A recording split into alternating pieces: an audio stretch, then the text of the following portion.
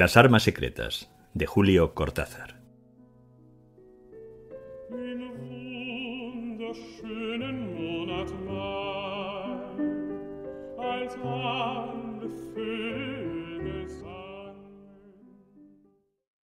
Curioso que la gente crea que tender una cama es exactamente lo mismo que tender una cama. Que dar la mano es siempre lo mismo que dar la mano. Que abrir una lata de sardinas es abrir al infinito la misma lata de sardinas. Pero si todo es excepcional, piensa Pierre, alisando torpemente el gastado cobertor azul. Ayer llovía, hoy hubo sol. Ayer estaba triste, hoy va a venir Michel. Lo único invariable es que jamás conseguiré que esta cama tenga un aspecto presentable.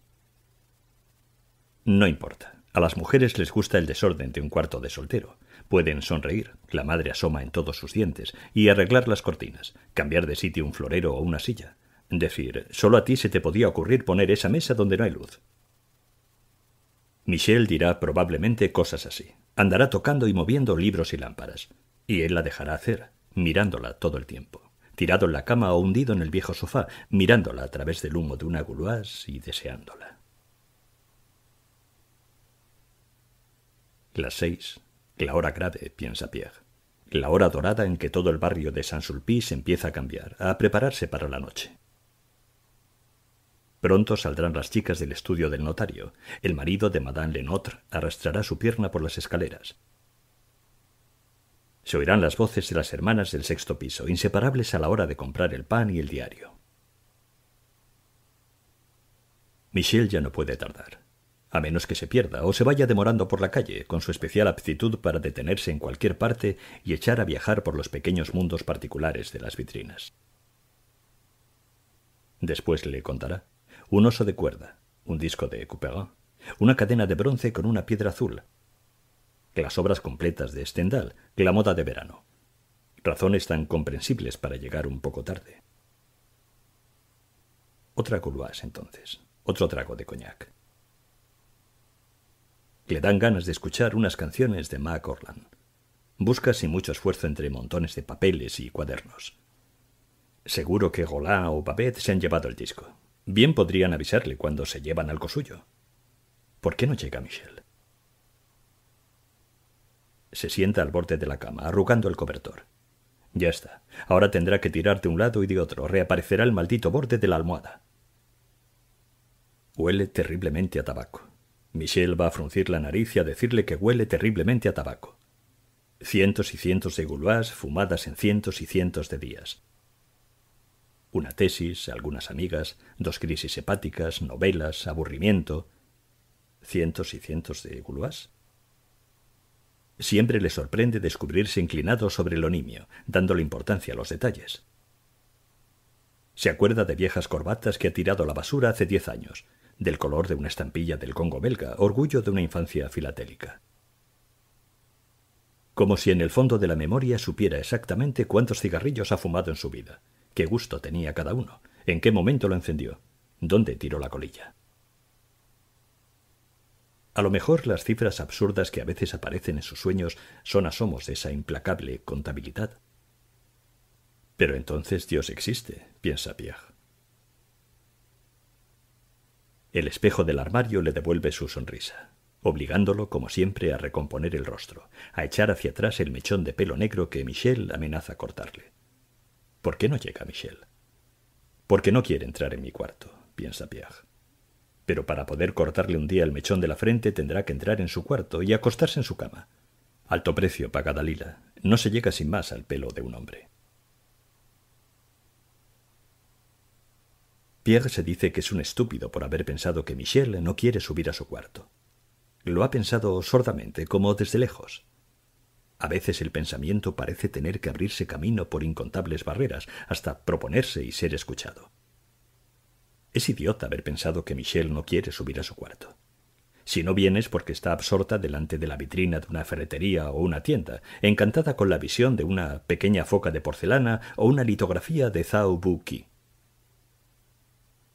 Le parece verla, y a la vez se da cuenta de que está imaginando una escopeta de doble caño justamente cuando traga el humo del cigarrillo y se siente como perdonado de su tontería.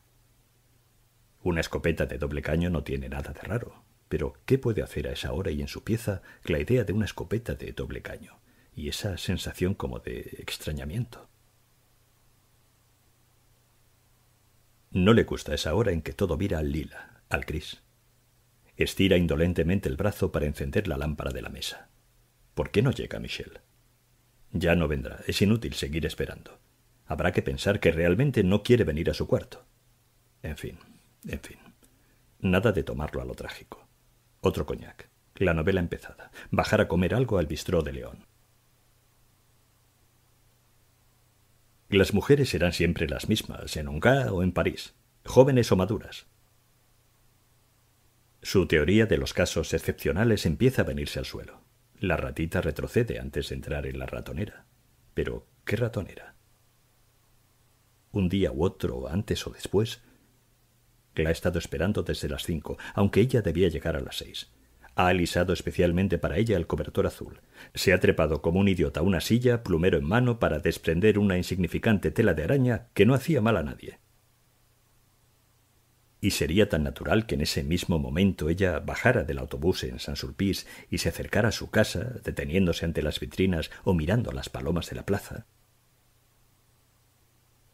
No hay ninguna razón para que no quiera subir a su cuarto. Claro que tampoco hay ninguna razón para pensar en una escopeta de doble caño, o decidir que en este momento Michaud sería mejor lectura que Graham Greene.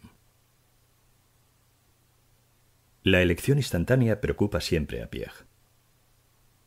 No puede ser que todo sea gratuito, que un mero azar decida Green contra Michaud, Michaud contra Onga, es decir, contra Green. Incluso confundir una localidad como Onga con un escritor como Green no puede ser que todo sea tan absurdo, piensa Pierre tirando el cigarrillo. Y si no viene es porque le ha pasado algo. No tiene nada que ver con nosotros dos. Baja a la calle. Espera un rato en la puerta. Ve encenderse las luces en la plaza. En lo de León no hay casi nadie cuando se sienta en una mesa de la calle y pide una cerveza. Desde donde está puede ver la entrada de su casa, de modo que, si todavía... León habla de la vuelta de Francia. Llegan Nicole y su amiga, la florista de la voz ronca. La cerveza está helada. Será cosa de pedir unas salchichas. En la entrada de su casa, el chico de la portera juega a saltar sobre un pie. Cuando se cansa, se pone a saltar sobre el otro, sin moverse de la puerta. Qué tontería, dice Michel. ¿Por qué no iba a querer ir a tu casa si habíamos quedado en eso? Edmond trae el café de las once de la mañana. No hay casi nadie a esa hora, y Edmond se demora al lado de la mesa para comentar la vuelta de Francia. Después Michel explica lo presumible, lo que Pierre hubiera debido pensar. Los frecuentes desvanecimientos de su madre, papá que se asusta y telefonea a la oficina, saltar a un taxi para que luego no sea nada, un mareo insignificante. Todo eso no ocurre por primera vez, pero hace falta ser Pierre para... Me alegro de que ya esté bien, dice tontamente Pierre. Pone una mano sobre la mano de Michel. Michel pone su otra mano sobre la de Pierre. Pierre pone su otra mano sobre la de Michel. Michel saca la mano de abajo y la pone encima. Pierre saca la mano de abajo y la pone encima. Michel saca la mano de abajo y apoya la palma contra la nariz de Pierre. Fría como la de un perrito. Pierre admite que la temperatura de su nariz es un enigma insondable. Bobo, dice Michel resumiendo la situación. Pierre la besa en la frente, sobre el pelo. Como ella agacha la cabeza, le toma el mentón y la obliga a que lo mire antes de besarla en la boca. La besa una, dos veces. Huele algo fresco, a la sombra bajo los árboles.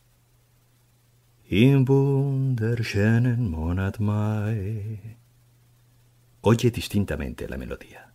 Le admira vagamente recordar también las palabras, que sólo traducidas tienen pleno sentido para él.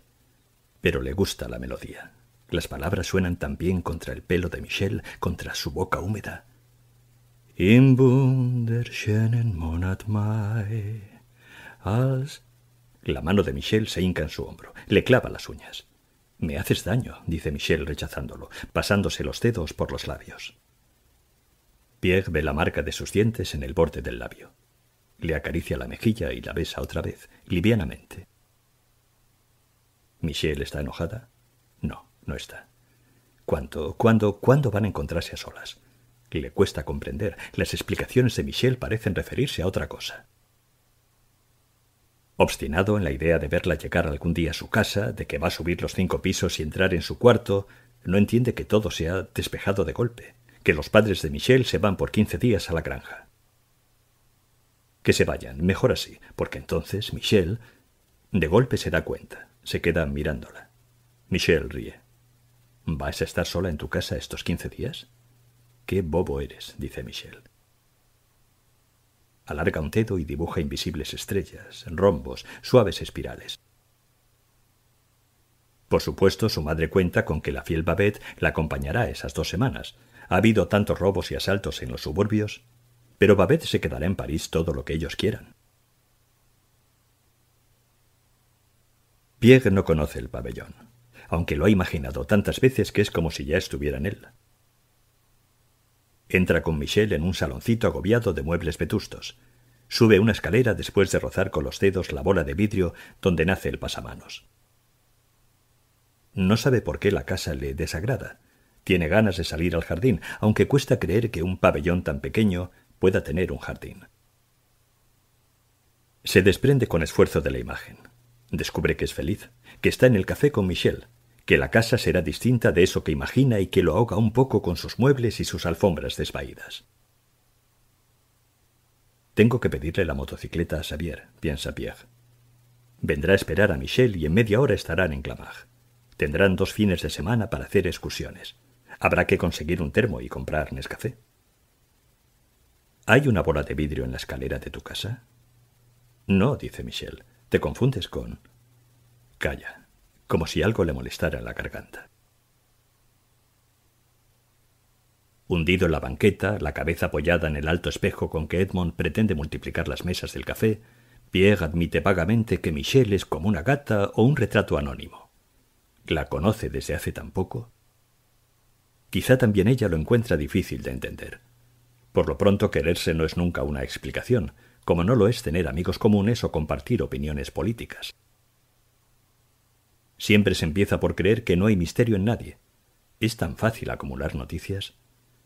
Michel Divernois, 24 años, pelo castaño, ojos grises, empleada de escritorio. Y ella también sabe que Pierre Jolivet, 23 años, pelo rubio, pero mañana irá con ella a su casa. En media hora de viaje estarán en Onga. Dale con Onga, piensa Pierre, rechazando el nombre como si fuera una mosca. Tendrán quince días para estar juntos y en la casa hay un jardín, probablemente tan distinto del que imagina. Tendrá que preguntarle a Michelle cómo es el jardín. Pero Michelle está llamando a Edmond. Son más de las once y media y el gerente fruncirá la nariz si la ve volver tarde. Quédate un poco más, dice Pierre. Ahí vienen Rolá y Babette. Es increíble cómo nunca podemos estar solos en este café. ¿Solos? dice Michel. Pero si venimos para encontrarnos con ellos. Ya sé, pero lo mismo. Michel se encoge de hombros. Y Pierre sabe que lo comprende y que en el fondo también lamenta que los amigos aparezcan tan puntualmente. Babette y Roland traen su aire habitual de plácida felicidad que esta vez lo irrita y lo impacienta están del otro lado, protegidos por el rompeolas del tiempo.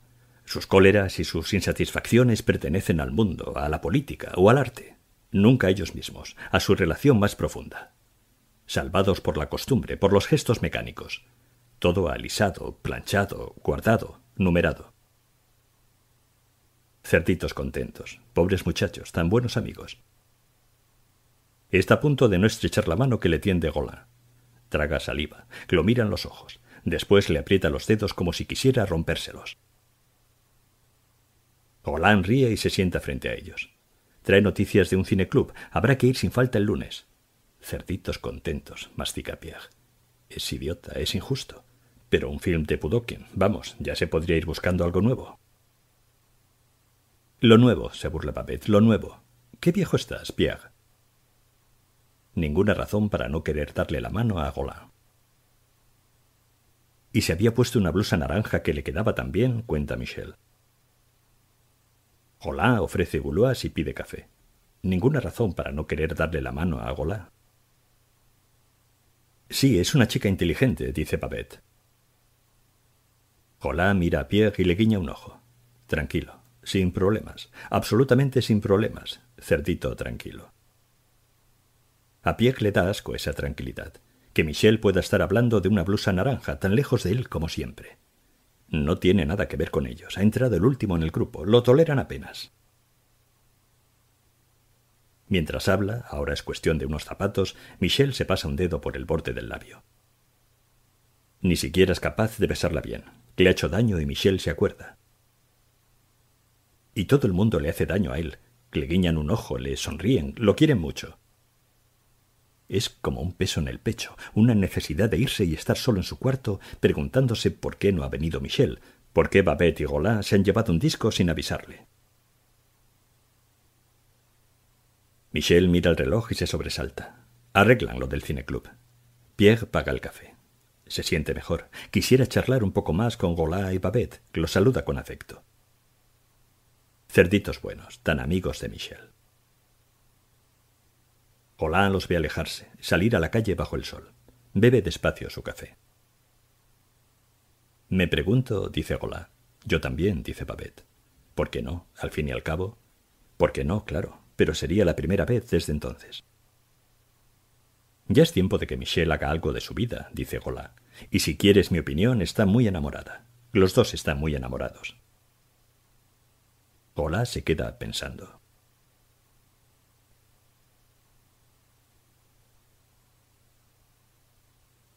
Se ha citado con Xavier en un café de la plaza San Michel, pero llega demasiado temprano. Pide cerveza y ojea el diario. No se acuerda bien de lo que ha hecho desde que se separó de Michel en la puerta de la oficina. Los últimos meses son tan confusos como la mañana que aún no ha transcurrido, y es ya una mezcla de falsos recuerdos, de equivocaciones. En esa remota vida que lleva, la única certidumbre es haber estado lo más cerca posible de Michel esperando y dándose cuenta de que no basta con eso, que todo es vagamente asombroso, que no sabe nada de Michelle, absolutamente nada en realidad. Tiene ojos grises, tiene cinco dedos en cada mano, es soltera, se peina como una chiquilla. Absolutamente nada en realidad. Entonces, si uno no sabe nada de Michelle, basta dejar de verla un momento para que el hueco se vuelva una maraña espesa y amarga. Te tiene miedo, te tiene asco, a veces te rechaza en lo más hondo de un beso. No se quiere acostar contigo. Tiene horror de algo. Esta misma mañana te ha rechazado con violencia. Y qué encantador estaba, y cómo se ha pegado contra ti en el momento de despedirse, y cómo lo ha preparado todo para reunirse contigo mañana e ir juntos a su casa de Onga. Y tú le has dejado la marca de los dientes en la boca. La estabas besando y la has mordido, y ella se ha quejado. Se ha pasado los dedos por la boca y se ha quejado sin enojo, un poco asombrada solamente.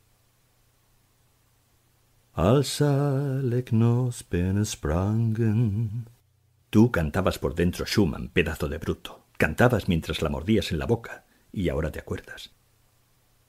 Además subías una escalera. Sí, la subías. Rozabas con la mano la bola de vidrio donde nace el pasamanos. Pero después Michelle ha dicho que en su casa no hay ninguna bola de vidrio. Pierre resbala en la banqueta. Busca los cigarrillos. En fin, tampoco Michelle sabe mucho de él. No es nada curiosa, aunque tenga esa manera atenta y grave de escuchar las confidencias, esa aptitud para compartir un momento de vida, cualquier cosa. Un gato que sale de una puerta cochera, una tormenta en la cité, una hoja de trébol, un disco de Jerry Mulligan. Atenta, entusiasta y grave a la vez, tan igual para escuchar y para hacerse escuchar. Es así como de encuentro en encuentro, de charla en charla, han derivado la soledad de la pareja en la multitud. Un poco de política, novelas, ir al cine, besarse cada vez más hondamente, permitir que su mano baje por la garganta, roce los senos, repita la interminable pregunta sin respuesta. Llueve. Hay que refugiarse en un portal. El sol cae sobre la cabeza. Entraremos en esa librería. Mañana te presentaré a Babette. Es una vieja amiga. Te va a gustar. Y después sucederá que el amigo de Babette es un antiguo camarada de Xavier, que es el mejor amigo de Pierre, y el círculo se irá cerrando. A veces en casa de Babette y Golin, a veces en el consultorio de Xavier o en los cafés del barrio latino por la noche. Pierre agradecerá sin explicarse la causa de su gratitud que Babette y Golin sean tan amigos de Michel, y que den la impresión de protegerla discretamente, sin que Michel necesite ser protegida. Nadie habla mucho de los demás en ese grupo. Prefieren los grandes temas, la política o los procesos, y sobre todo mirarse satisfechos, cambiar cigarrillos, sentarse en los cafés y vivir sintiéndose rodeados de camaradas. Ha tenido suerte de que lo acepten y lo dejen entrar. No son fáciles. Conocen los métodos más seguros para desanimar a los advenedizos. Me gustan, se dice Pierre, bebiendo el resto de la cerveza. Quizá crean que ya es el amante de Michel. Por lo menos habiera de creerlo. No le entraría en la cabeza que Michel haya podido negarse todo ese tiempo sin razones precisas, simplemente negarse, y seguir encontrándose con él, saliendo juntos, dejándolo hablar o hablando ella. Hasta la extrañeza es posible acostumbrarse. Creer que el misterio se explica por sí mismo y que uno acaba por vivir dentro, aceptando lo inaceptable, despidiéndose las esquinas o los cafés, cuando todo sería tan simple. Una escalera con una bola de vidrio en el nacimiento del pasamanos que lleva al encuentro. Al verdadero. Pero Michel ha dicho que no hay ninguna bola de vidrio.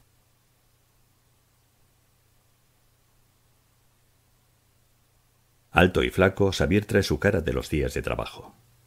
Habla de unos experimentos, de la biología como una incitación al escepticismo. Se mira un dedo, manchado de amarillo. Pierre le pregunta, ¿Te ocurre pensar de golpe en cosas completamente ajenas a lo que estabas pensando? Completamente ajenas es una hipótesis de trabajo y nada más, dice Xavier. Me siento bastante raro estos días. Deberías darme alguna cosa, una especie de objetivador. ¿De objetivador? dice Xavier. Eso no existe, viejo. Pienso demasiado en mí mismo, dice Pierre. Es idiota. ¿Y Michel no te objetiva? Precisamente ayer me ocurrió que se oye hablar. Ve a Xavier que lo está viendo. Ve la imagen de Xavier en un espejo, la nuca de Xavier. Se ve a sí mismo hablando para Xavier. Pero ¿por qué se me tiene que ocurrir que hay una bola de vidrio en el nacimiento del pasamanos? Y de cuando en cuando asiste al movimiento de cabeza de Xavier, el gesto profesional tan ridículo cuando no se está en un consultorio, y el médico no tiene puesto el guardapolvos que lo sitúa en otro plano y le confiere otras potestades. Onga, dice Xavier. No te preocupes por eso. Yo confundo siempre le ma con Monton. La culpa será de alguna maestra ya en la lejana infancia. In Monat. Tararé a la memoria de Pierre. Si no duermes bien, avísame y te daré alguna cosa, dice Xavier. De todas maneras, estos quince días en el paraíso bastarán, estoy seguro. No hay como compartir una almohada. Eso aclara completamente las ideas. A veces hasta acaba con ellas, lo cual es una tranquilidad. Quizás si trabajara más, si se cansara más, si pintara su habitación o hiciera a pie el trayecto hasta la facultad en vez de tomar el autobús. Si tuviera que ganar los setenta mil francos que le mandan sus padres. Apoyado en el pretil del Pont Neuf, mira pasar las barcazas y siente el sol de verano en el cuello y los hombros. Un grupo de muchachas ríe y juega. Se oye el trote de un caballo. Un ciclista pelirrojo silba largamente al cruzarse con las muchachas, que ríen con más fuerza. Y es como si las hojas secas se levantaran y le comieran la cara en un solo y horrible mordisco negro. Pieck se frota los ojos, se endereza lentamente. No han sido palabras, tampoco una visión. Algo entre las dos, una imagen descompuesta en tantas palabras como hojas secas en el suelo, que se han levantado para darle en plena cara. Ve que su mano derecha está temblando contra el pretil. Aprieta el puño, lucha hasta dominar el temblor. Xavier ya andará lejos. Sería inútil correr tras él, agregar una nueva anécdota al muestrario insensato. Hojas secas, dirá Xavier. Pero no hay hojas secas en el Pont Neuf. Como si él no supiera que no hay hojas secas en el Pont Neuf, que las hojas secas están en Onga. Ahora voy a pensar en ti, querida, solamente en ti toda la noche. Voy a pensar solamente en ti. Es la única manera de sentirme a mí mismo. Tenerte en el centro de mí mismo como un árbol. Desprenderme poco a poco del tronco que me sostiene y me guía. Flotar a tu alrededor cautelosamente, tanteando el aire con cada hoja. Verdes, verdes, yo mismo y tú misma, tronco de savia y hojas verdes, verdes, verdes sin alejarme de ti, sin dejar que lo otro penetre entre tú y yo, me distraiga de ti, me prive por un solo segundo de saber que esta noche está girando hacia el amanecer y que allá del otro lado, donde vives y estás durmiendo, será otra vez de noche cuando lleguemos juntos y entremos a tu casa, subamos los peldaños del porche, encendamos las luces, acariciemos a tu perro, bebamos café, nos miremos tanto antes de que yo te abrace, tenerte en el centro de mí mismo como un árbol y te lleve hasta la escalera pero no hay ninguna bola de vidrio. Y empecemos a subir, subir. La puerta está cerrada, pero tengo la llave en el bolsillo. Pierre salta de la cama. Mete la cabeza bajo la canilla del lavabo. Pensar solamente en ti. Pero ¿cómo puede ocurrir que lo que está pensando sea un deseo oscuro y sordo donde Michel no es ya Michel, tenerte en el centro de mí mismo como un árbol? Donde no alcanza a sentirla en sus brazos mientras sube la escalera, porque apenas ha pisado un peldaño, ha visto la bola de vidrio y está solo, está subiendo solo la escalera y Michelle está arriba, encerrada, está detrás de la puerta sin saber que él tiene otra llave en el bolsillo y que está subiendo. Se seca la cara. Abre de par en par la ventana al fresco de la madrugada. Un borracho monologa amistosamente en la calle, balanceándose como si flotara en un agua pegajosa. Canturrea, va y viene cumpliendo una especie de danza suspendida y ceremoniosa en la grisalla que muerde poco a poco las piedras del pavimento, los portales cerrados.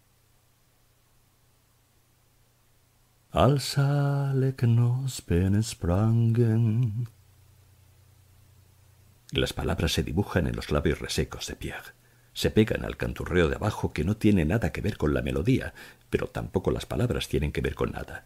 Vienen como todo el resto, se pegan a la vida por un momento y después hay como una ansiedad rencorosa, huecos volcándose para mostrar jirones que se enganchan en cualquier otra cosa.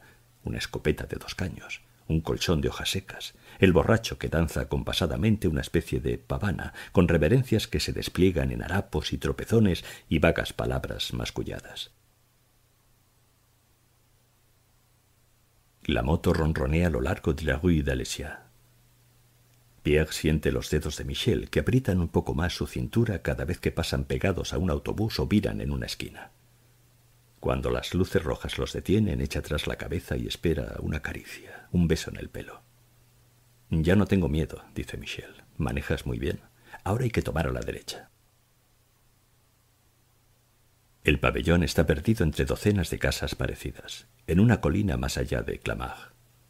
Para Pierre la palabra pabellón suena como un refugio, la seguridad de que todo será tranquilo y aislado, de que habrá un jardín con sillas de mimbre y quizá por la noche alguna luciérnaga. ¿Hay luciérnagas en tu jardín? No creo, dice Michel. ¿Qué ideas tan absurdas tienes? Es difícil hablar en la moto. El tráfico obliga a concentrarse y Pierre está cansado. Apenas se ha dormido unas horas por la mañana. Tendrá que acordarse de tomar los comprimidos que le ha dado Xavier, pero naturalmente no se acordará de tomarlos y además no los va a necesitar. Echa atrás la cabeza y gruñe porque Michel tarda en besarlo. Michel se ríe y le pasa una mano por el pelo. Luz verde. Déjate de estupideces, ha dicho Xavier, evidentemente desconcertado. Por supuesto que pasará. Dos comprimidos antes de dormir, un trago de agua. ¿Cómo dormirá Michel? Michel, ¿cómo duermes? Muy bien, dice Michel. A veces tengo pesadillas, como todo el mundo. Claro, como todo el mundo. Solamente que al despertarse sabe que el sueño ha quedado atrás, sin mezclarse con los ruidos de la calle, las caras de los amigos, eso que se infiltra en las ocupaciones más inocentes pero Xavier ha dicho que con dos comprimidos todo irá bien. Dormirá con la cara hundida en la almohada, las piernas un poco encogidas, respirando levemente. Y así va a verla ahora. Va a tenerla contra su cuerpo así dormida, oyéndola respirar, indefensa y desnuda, cuando él le sujeta el pelo con una mano. Y luz amarilla, luz roja, stop. Frena con tanta violencia que Michelle grita y después se queda muy quieta, como si tuviera vergüenza de su grito. Con un pie en el suelo, Pierre gira la cabeza. Sonríe algo que no es Michel y se queda como perdido en el aire, siempre sonriendo. Sabe que la luz va a pasar al verde. Detrás de la moto hay un camión y un auto. Luz verde. Detrás de la moto hay un camión y un auto. Alguien hace sonar la bocina. Dos, tres veces. ¿Qué te pasa? dice Michel. El del auto lo insulta al pasarlo, y Pierre arranca lentamente. Estábamos en que iba a verla tal como es, indefensa y desnuda. Dijimos eso. Habíamos llegado exactamente al momento en que la veíamos dormir indefensa y desnuda. Es decir, que no hay ninguna razón para suponer ni siquiera por un momento que va a ser necesario. Sí, ya he oído. Primero a la izquierda y después otra vez a la izquierda. Allá, aquel techo de pizarra, hay pinos. Qué bonito. Pero qué bonito es tu pabellón un jardín con pinos y tus papás que se han ido a la granja. Casi no se puede creer, Michelle. Una cosa así casi no se puede creer. Bobby, que los ha recibido con un gran aparato de ladridos, salva las apariencias olfateando minuciosamente los pantalones de Pierre, que empuja la motocicleta hasta el porche. Ya Michelle ha entrado en la casa. Abre las persianas. Vuelve a recibir a Pierre, que mira las paredes y descubre que nada de eso se parece a lo que había imaginado. Aquí debería haber tres peldaños, dice Pierre. Y este salón...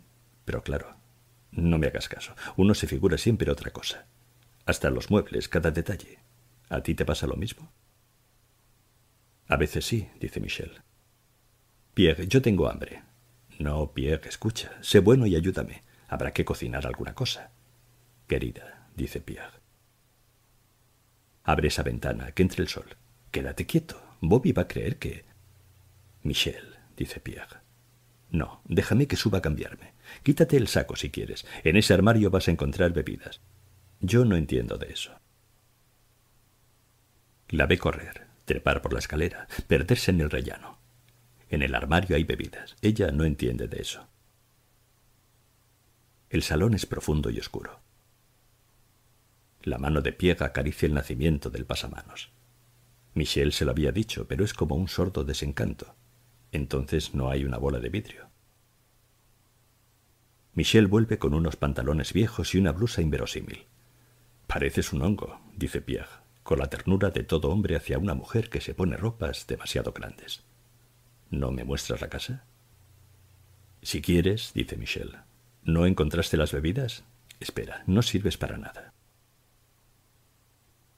Llevan los pasos al salón y se sientan en el sofá frente a la ventana entornada. Bobby les hace fiestas, se echa en la alfombra y los mira. Te ha aceptado enseguida, dice Michel, lamiendo el borde del vaso. ¿Te gusta mi casa? No, dice Pierre. Es sombría, burguesa a morirse, llena de muebles abominables. Pero estás tú, con esos horribles pantalones. Le acaricia la garganta, la trae contra él, la besa en la boca. Se besan en la boca.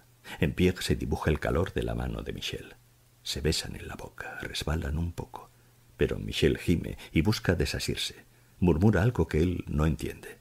Piensa confusamente que lo más difícil es taparle la boca. No quiere que se desmaye. La suelta bruscamente. Se mira las manos como si no fueran suyas, oyendo la respiración precipitada de Michel, el sordo gruñido de Bobby en la alfombra. Me vas a volver loco, dice Pierre. Y el ridículo de la frase es menos penoso que lo que acaba de pasar como una orden, un deseo incontenible, taparle la boca, pero que no se desmaye. Estira la mano, acaricia desde lejos la mejilla de Michel. Está de acuerdo en todo, en comer algo improvisado, en que tendrá que elegir el vino, en que hace muchísimo calor al lado de la ventana. Michel come a su manera, mezclando el queso con las anchoas en aceite, la ensalada y los trozos de cangrejo. Pierre bebe vino blanco, la mira y le sonríe. Si se casara con ella, bebería todos los días su vino blanco en esa mesa, y la miraría y sonreiría. Es curioso, dice Pierre. Nunca hemos hablado de los años de guerra. Cuanto menos se hable, dice Michel rebañando el plato. Ya sé, pero los recuerdos vuelven a veces. Para mí no fue tan malo, al fin y al cabo éramos niños entonces. Como unas vacaciones interminables, un absurdo total y casi divertido. Para mí no hubo vacaciones, dice Michel. Llovía todo el tiempo. ¿Llovía? Aquí, dice ella tocándose la frente. Delante de mis ojos, detrás de mis ojos. Todo estaba húmedo. Todo parecía sudado y húmedo. ¿Vivías en esta casa? Al principio sí. Después, cuando la ocupación, me llevaron a casa de unos tíos en Onga. Pierre no ve que el fósforo arde entre sus dedos. Abre la boca, sacude la mano y maldice. Michelle sonríe, contenta de poder hablar de otra cosa. Cuando se levanta para traer la fruta, Pierre enciende el cigarrillo y traga el humo como si se estuviera ahogando. Pero ya ha pasado. Todo tiene una explicación si se la busca. ¿Cuántas veces Michel habrá mencionado a Onga en las charlas de café? Esas frases que parecen insignificantes y olvidables, hasta que después resultan el tema central de un sueño o un fantaseo. Un durazno, sí, pero pelado. Ah, lo lamenta mucho, pero las mujeres siempre le han pelado los duraznos, y Michel no tiene por qué ser una excepción. Las mujeres, si te pelaba los duraznos, eran unas tontas como yo. Harías mejor en moler el café. Entonces viviste en Onga, dice Pierre mirando las manos de Michel con el leve asco que siempre le produce ver pelar una fruta. ¿Qué hacía tu viejo durante la guerra? Oh, no hacía gran cosa. Vivíamos, esperando que todo terminara de una vez. ¿Los alemanes no los molestaron nunca?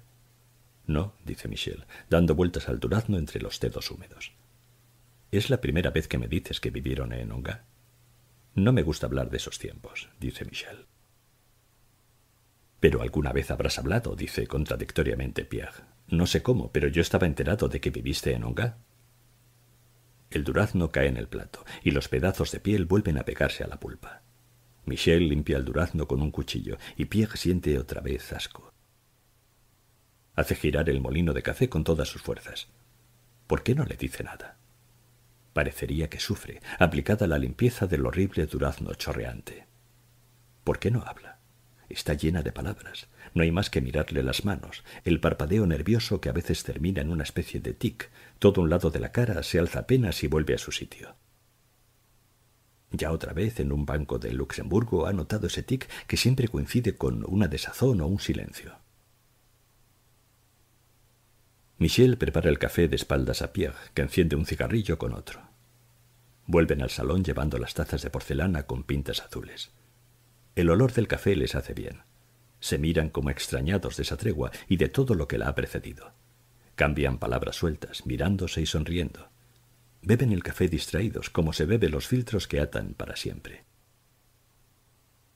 Michel ha entornado las persianas, y del jardín entra una luz verdosa y caliente que los envuelve como el humo de los cigarrillos y el coñac que Pierre saborea, perdido en un blanco abandono. Bobby duerme sobre la alfombra, estremeciéndose y suspirando. Sueña todo el tiempo, dice Michel. A veces llora y se despierta de golpe. Nos mira a todos como si acabara de pasar por un inmenso dolor. Y es casi un cachorro. La delicia de estar ahí, de sentirse tan bien en ese instante, de cerrar los ojos, de suspirar como Bobby, de pasarse la mano por el pelo una, dos veces, sintiendo la mano que anda por el pelo casi como si no fuera suya, la leve cosquilla al llegar a la nuca, el reposo. Cuando abre los ojos ve la cara de Michel, su boca entreabierta, la expresión como si de golpe se hubiera quedado sin una gota de sangre. La mira sin entender. Un vaso de coñac rueda por la alfombra. Pierre está de pie frente al espejo. Casi le hace gracia ver que tiene el pelo partido al medio, como los galanes del cine mudo. ¿Por qué tiene que llorar Michel? No está llorando, pero una cara entre las manos es siempre alguien que llora. Se las aparta bruscamente, la besa en el cuello, busca su boca. Nacen las palabras, las suyas, las de ella, como bestezuelas buscándose. Un encuentro que se demora en caricias, un olor a siesta, a casa sola, a escalera esperando con la bola de vidrio en el nacimiento del pasamanos. Pierre quisiera alzar en vilo a Michelle, subir a la carrera. Tiene la llave en el bolsillo, entrará en el dormitorio. Se tenderá contra ella, la sentirá estremecerse. Empezará torpemente a buscar cintas, botones. pero no hay una bola de vidrio en el nacimiento del pasamanos. Todo es lejano y horrible. Michelle ahí a su lado está tan lejos y llorando, su cara llorando entre los dedos mojados, su cuerpo que respira y tiene miedo y lo rechaza. Arrodillándose apoya la cabeza en el regazo de Michelle. Pasan horas, pasa un minuto, dos. El tiempo es algo lleno de látigos y baba. Los dedos de Michel acarician el pelo de Pierre y él le ve otra vez la cara, un asomo de sonrisa. Michel lo peina con los dedos, lo lastima casi a fuerza de echarle el pelo hacia atrás, y entonces se inclina y lo besa y le sonríe. Me diste miedo. Por un momento me pareció qué tonta soy, pero estabas tan distinto. ¿A quién viste? A nadie, dice Michel. Pierre se agazapa esperando. Ahora hay algo como una puerta que oscila y va a abrirse. Michel respira pesadamente. Tiene algo de nadador a la espera del pistoletazo de salida. Me asusté porque... no sé, me hiciste pensar en que... Oscila. La puerta oscila. La nadadora espera el disparo para zambullirse. El tiempo se estira como un pedazo de goma. Entonces Pierre tiende los brazos y apresa a Michelle, se alza hasta ella y la besa profundamente. Busca sus senos bajo la blusa. La oye gemir y también gime besándola.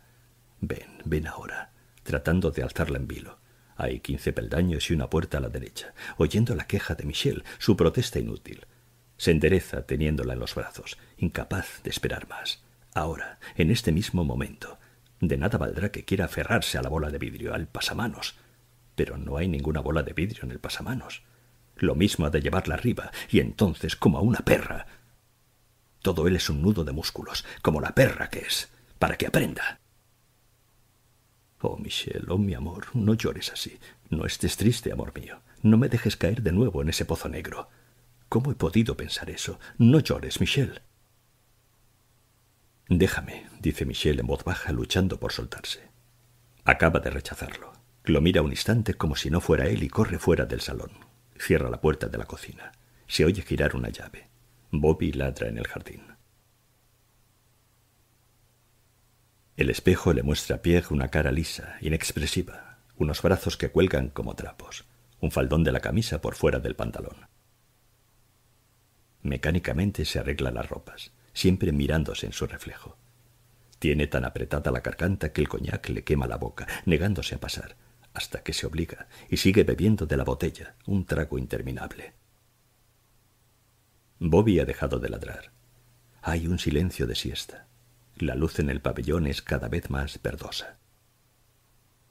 Con un cigarrillo entre los labios resecos sale al porche, baja al jardín, pasa al lado de la moto y va hacia los fondos. Huele a zumbido de abejas, a colchón de agujas de pino. Y ahora Bobby se ha puesto a ladrar entre los árboles. Le ladra a él. De repente se ha puesto a gruñir y a ladrar sin acercarse a él, cada vez más cerca y a él. La pedrada lo alcanza en mitad del lomo. Bobby aúlla y escapa. Desde lejos vuelve a ladrar. Pierre apunta despacio y la acierta en una pata trasera. Bobby se esconde entre los matorrales. Tengo que encontrar un sitio donde pensar, se dice Pierre. Ahora mismo tengo que encontrar un sitio y esconderme a pensar.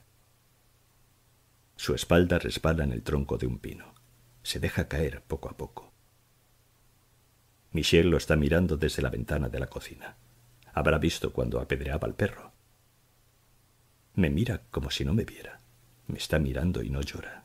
No dice nada. Está tan sola en la ventana. Tengo que acercarme y ser bueno con ella. Yo quiero ser bueno. Quiero tomarle la mano y besarle los dedos, cada dedo, su piel tan suave. ¿A qué estamos jugando, Michel? Espero que no lo hayas lastimado. Le tiré una piedra para asustarlo. Parece que me desconoció igual que tú. No digas tonterías. Y tú no cierres las puertas con llave. Michel lo deja entrar. Acepta sin resistencia el brazo que rodea su cintura. El salón está más oscuro. Casi no se ve el nacimiento de la escalera.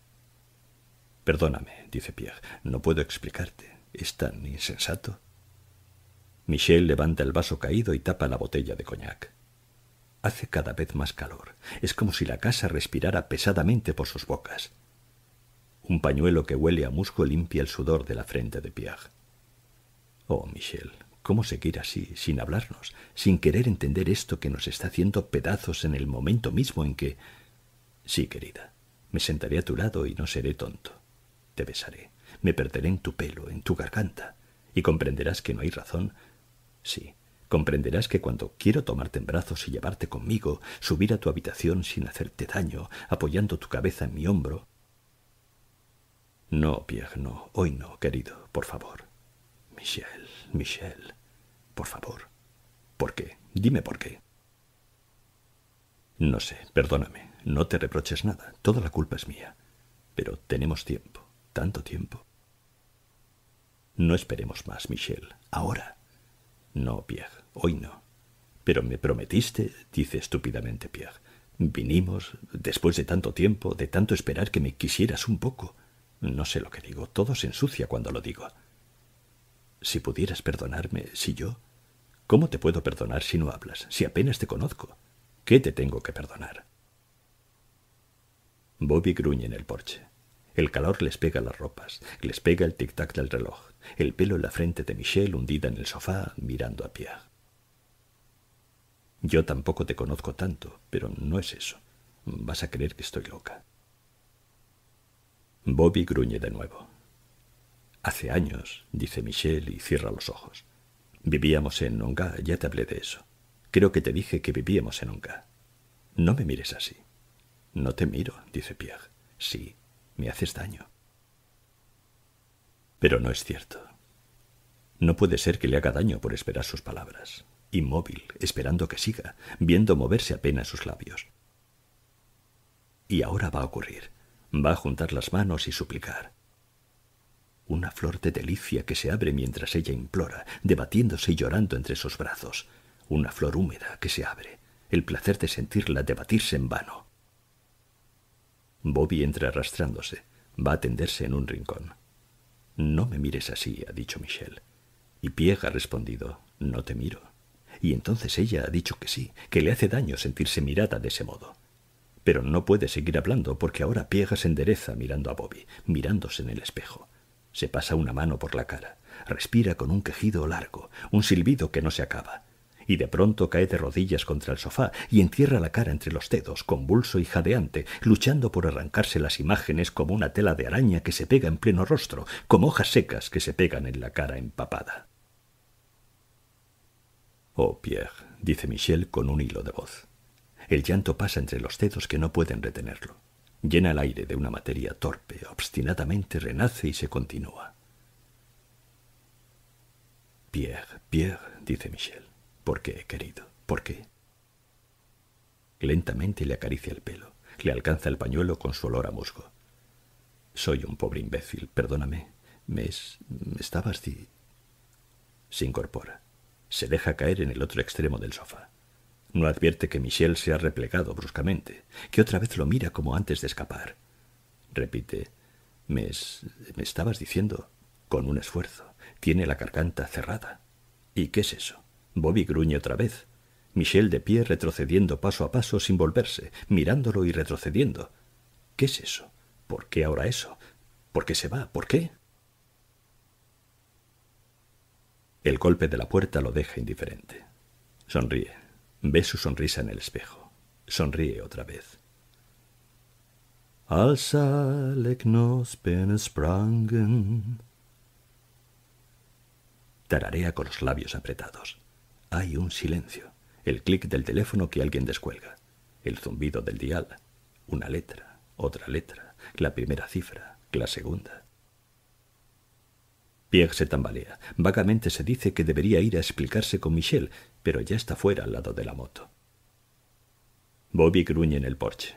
La casa devuelve con violencia el ruido del arranque. Primera, calle arriba. Segunda, bajo el sol.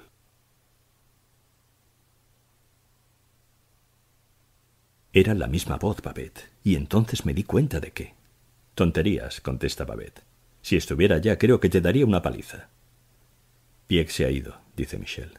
Casi es lo mejor que podía hacer. Babette, si pudieras venir. ¿Para qué? Claro que iré, pero es idiota. Tartamudeaba Babette, te juro. No es una alucinación. Ya te dije que antes fue como si otra vez. Ven pronto. Así por teléfono no puedo explicarte. Y ahora acabo de oír la moto. Se ha ido, y me da una pena tan horrible. ¿Cómo puede comprender lo que me pasa, pobrecito? Pero él también está como loco, Babette. Es tan extraño. Te imaginaba curada de todo aquello, dice Babette con una voz demasiado desapegada. En fin, Pierre no es tonto y comprenderá. Yo creía que estaba enterado desde hace rato. Iba a decírselo, quería decírselo. Y entonces... Babette, te juro que me habló tartamudeando. Y antes, antes...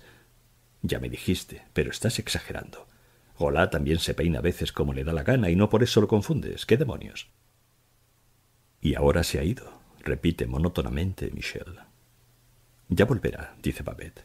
Bueno, prepara algo sabroso para Golá, que está cada día más hambriento. Me estás difamando, dice Golá desde la puerta. ¿Qué le pasa a Michel? Vamos, dice Babette, vamos enseguida.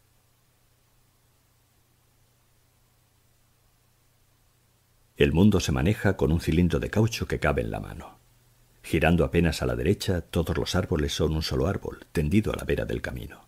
Entonces se hace girar una nada a la izquierda. El gigante verde se deshace en cientos de álamos que corren hacia atrás. Las torres de alta tensión avanzan pausadamente, una a una. La marcha en una cadencia feliz en la que ya no pueden entrar palabras, girones de imágenes que no son las de la ruta. El cilindro de caucho gira a la derecha. El sonido sube y sube. Una cuerda de sonido se tiende insoportablemente. Pero ya no se piensa más. Todo es máquina, cuerpo pegado a la máquina y viento en la cara como un olvido. Corbeil, Arpaillot, Clinas Monglery. Otra vez los álamos, la carita de la gente de tránsito, la luz cada vez más violeta, un aire fresco que llena la boca entreabierta. Más despacio más despacio, en esa encrucijada tomar a la derecha. París a 18 kilómetros, Cinzano. París a 17 kilómetros. No me he matado, piensa Pierre entrando lentamente en el camino de la izquierda. Es increíble que no me haya matado. El cansancio pesa como un pasajero a sus espaldas, algo cada vez más dulce y necesario. Yo creo que me perdonará, piensa Pierre. Los dos somos tan absurdos es necesario que comprenda, que comprenda, que comprenda. Nada se sabe de verdad hasta no haberse amado. Quiero su pelo entre mis manos, su cuerpo, la quiero, la quiero. El bosque nace al lado del camino. Las hojas secas invaden la carretera atraídas por el viento. Pierre mira las hojas que la moto va tragando y agitando.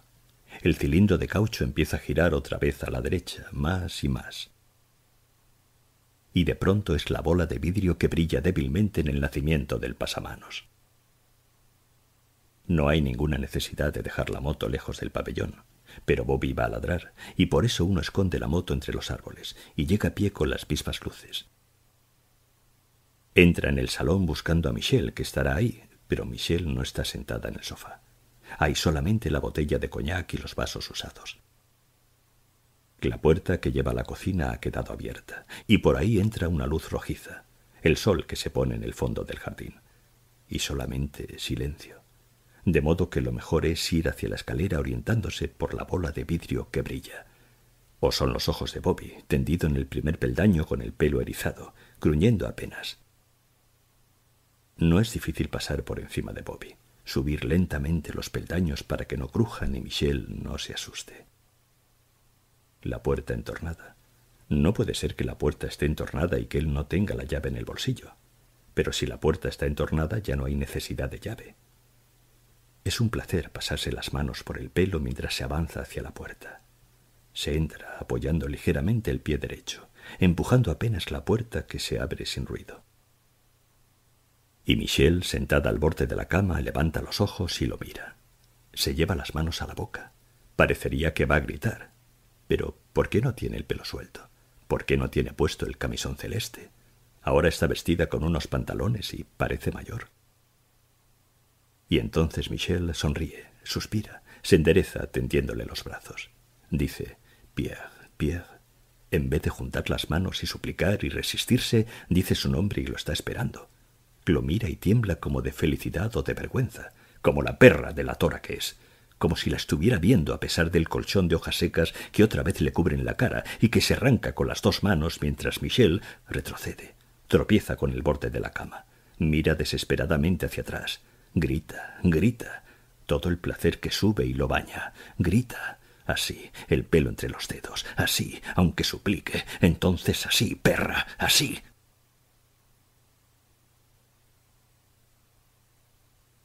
Por Dios, pero si es un asunto más que olvidado, dice Golá, tomando un viraje a toda máquina. Eso creía yo, casi siete años, y de golpe salta justamente ahora. En eso te equivocas, dice Golá. Si alguna vez tenía que saltar es ahora. Dentro del absurdo resulta bastante lógico. Yo mismo a veces sueño con todo eso, ¿sabes? La forma en que matamos al tipo no es de las que se olvidan. En fin, uno no podía hacer las cosas mejor en esos tiempos, dice Golá, acelerando a fondo. Ella no sabe nada, dice Babette, solamente que lo mataron poco después. Era justo decirle por lo menos eso. Por supuesto, pero a él no le pareció nada justo. Me acuerdo de su cara cuando lo sacamos del auto en pleno bosque. Se dio cuenta inmediatamente de que estaba liquidado. Era valiente, eso sí. Ser valiente es siempre más fácil que ser hombre, dice Babette. Abusar de una criatura que... Cuando pienso en lo que tuve que luchar para que Michelle no se matara, esas primeras noches, no me extraña que ahora vuelva a sentirse la de antes. Es casi natural. El auto entra a toda velocidad en la calle que lleva al pabellón. Sí, era un cochino, dice Golá. El ario puro, como lo entendían ellos en ese tiempo. Pidió un cigarrillo, naturalmente, la ceremonia completa. También quiso saber por qué íbamos a liquidarlo. Y se lo explicamos. Vaya si se lo explicamos. Cuando sueño con él es sobre todo en ese momento. Su aire de sorpresa desdeñosa, su manera casi elegante de tartamudear. Me acuerdo de cómo cayó, con la cara hecha pedazos entre las hojas secas. No sigas, por favor, dice Babette. Se lo merecía, aparte de que no teníamos otras armas un cartucho de caza bien usado. ¿Es a la izquierda, allá en el fondo? Sí, a la izquierda. Espero que haya coñac, dice Golá, empezando a frenar.